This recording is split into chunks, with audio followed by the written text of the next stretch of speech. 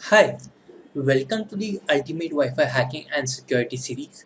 My name is Zeel and in today's module, our topic for today is understanding and hiding SSIDs. Now this is the first topic that we'll be learning in order to understand wireless networks in a greater detail. SSID in a very simple term means a public name for your wireless router. So let me give you a simple example. If I scan for Wi-Fi devices in my vicinity, I can find that there are around 10 to 15 wireless devices that are being detected. Each device is associated with a unique name. So I have Cyberspice, I have MTNL, I have Ishan, Radhika, etc. So this name which associates a Wi-Fi is called the service set identifier. So effectively Cyberspice is linked with a particular router. So the Cyberspice is the service set identifier of that particular Wi-Fi device. So let me give you an example. So suppose this is my Wi-Fi device and I name it CW. So effectively CW acts as a service set identifier or SSID for this particular Wi-Fi device. SSID names can be made up to 30 characters long, 32 characters long and are case sensitive. So the question that comes is how can a mobile device or my laptop know that there is a Wi-Fi in the vicinity? So let us understand the beacon frames in much more detail. So whenever you turn on your Wi-Fi, it starts sending packets or in technical terms we can say broadcast and beacon frames all over your vicinity. So once you start scanning for wireless devices, what your mobile will do is it will capture one of the beacon frames and it will extract the information of the beacon frame and it will present to you a nice list of interface of how many Wi-Fi devices that are available in your vicinity. Let me give you an example for this. So when I scan for the Wi-Fi devices, I can see so many Wi-Fi devices that are available. Now, how can my laptop know that there are so many Wi-Fi devices available? The reason is because my laptop is able to capture the beacon frames that are being transmitted from the Wi-Fi router and is able to capture and decode the information from the beacon frame. So if we want to see beacon frame in great detail, here is a packet capture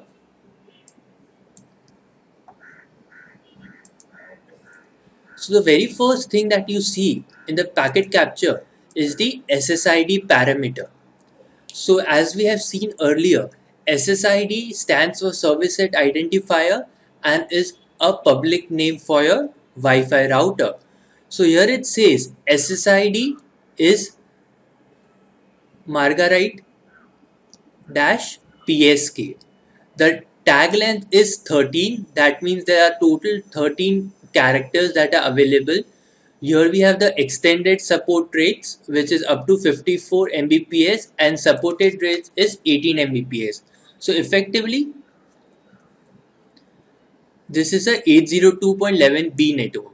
So we'll be understanding the wireless protocols in the later chapters but just remember that we are able to find the SSID parameter along with the tag length and the name of the SSIDs. Your laptop will decode this information and will present to you in a nice little interface over here because if it would have presented you in such type of interface most of you would have got confused.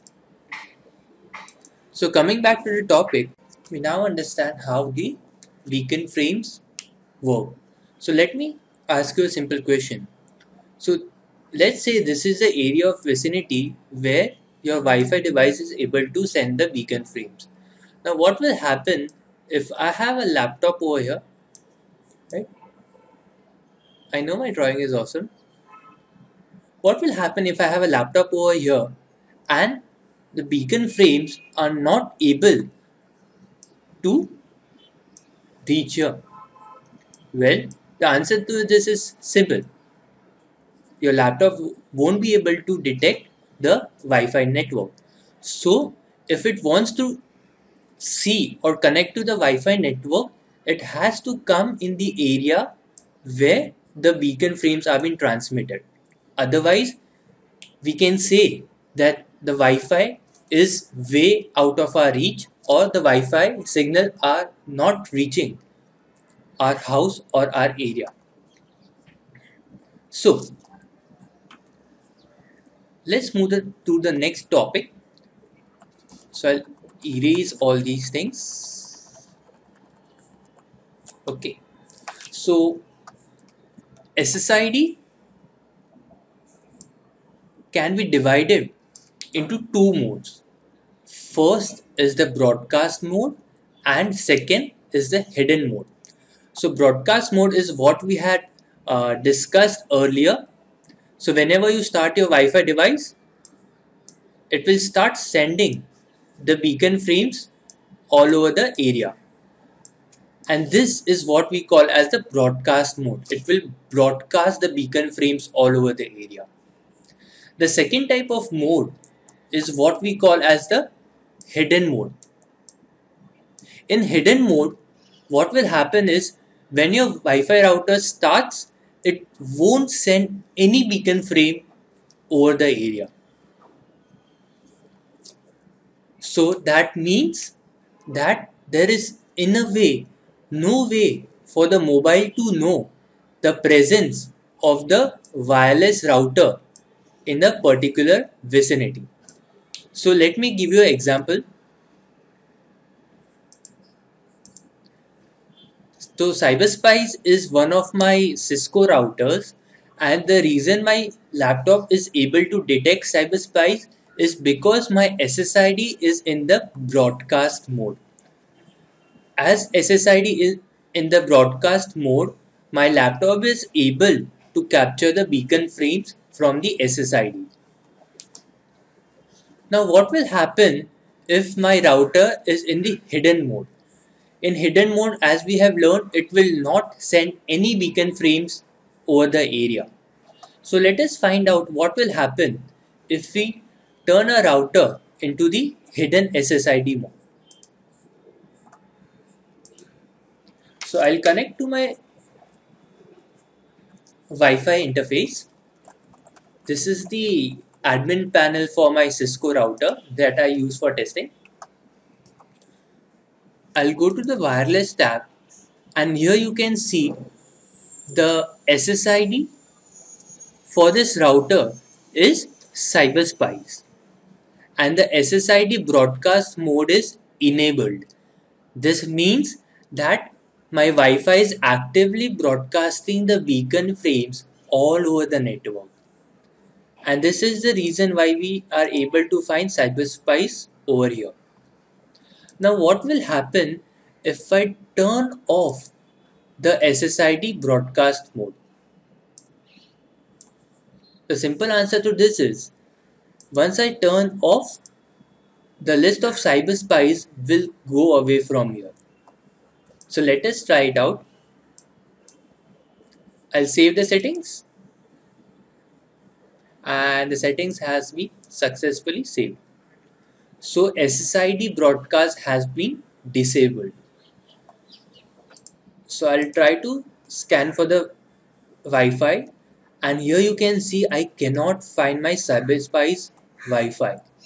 Although it is there, right, I can actively browse it, right, it's working. But when I scan for it, it is not showing.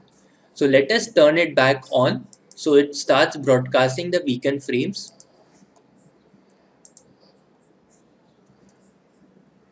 So after we have turned it on, we'll find cyberspice right over here again.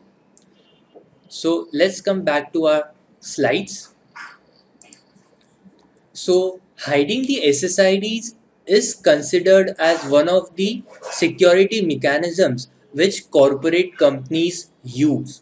They basically turn off the SSID broadcast mode so whoever tries to search for Wi-Fi devices in the company they simply cannot find any Wi-Fi devices even though there is a Wi-Fi device.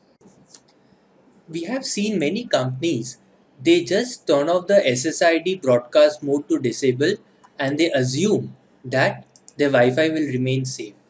And the answer to this is very simple. It is just similar to the picture that you have seen. It is very easily possible to detect Wi-Fi even though the broadcast mode is set to disabled. Now, not many people know how exactly to do it and this is one of our aims in this modules. So in the next few lectures, we'll be looking into how can we detect Wi-Fi's whose broadcast mode is disabled. So I hope this lecture has been informative for you and I would like to thank you for viewing.